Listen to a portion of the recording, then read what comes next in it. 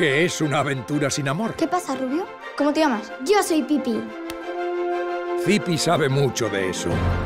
¿Y este pollo? A mí me encantan las chicas valientes. ¿A ti cómo te gustan los chicos? A la parrilla. ¡Lo tienes! ¿Ya no te gusto? Claro que me gustas. Lo que pasa es que me recuerdas a alguien. ¿A quién? A mi madre. ¿A su madre?